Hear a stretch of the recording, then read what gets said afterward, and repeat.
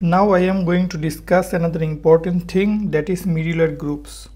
What is middleware groups? Middleware groups allow you to group the multiple middleware classes together under any single key.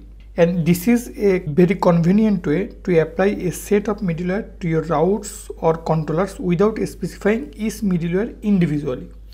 So how it can be done I am going to show you so here I am going to close something. For example I am going to close the controllers contact controller sample going to close. For example this is a test middleware and there is another one that is uh, sample middleware. You know I have two middlewares here. And in the kernel.php here I am now going to cut these two middleware from here. I will create a group now so you see that this is a middleware groups and here I am going to create a new group. For example I am going to give here my name. You can put here anything no problem. So here I am going to paste these two items. Or here I can also give a name that is custom okay? This is perfect custom. So test and sample two middlewares and I create a group here. I give the name that is custom so I if I want that I will apply these two middlewares uh, together then I will just call it. So how I can do it?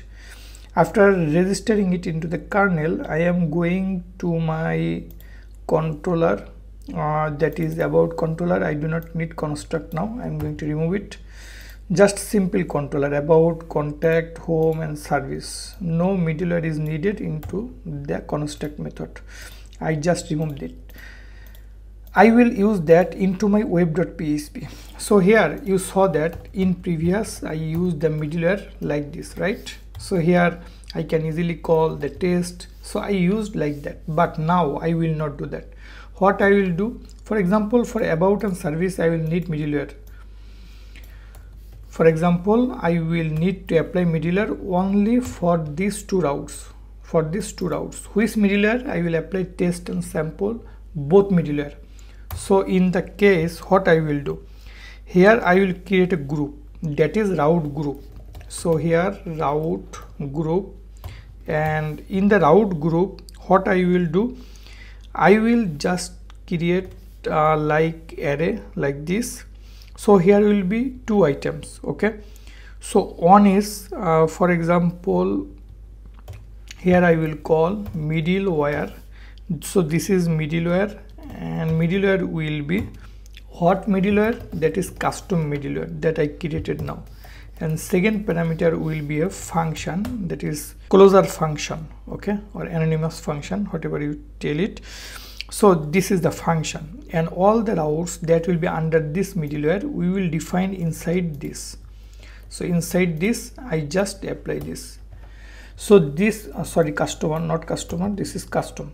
So this custom middleware i define it and it will be applied all the routes that i will put inside this function. Now let's try. I am going to show the home. In the home page there is actually no middleware because you see that home page is outside this function. Now i am going to call the about you see that test middleware and sample middleware um, sample middleware both are working in this space because I uh, put the about route into this custom middleware. So similarly uh, contact will have no middleware. You see no middleware but service have that middleware test and sample. So this is another way to group your middlewares and call that to specific routes in this easy way. I hope you have understood what I have shown you in this lecture.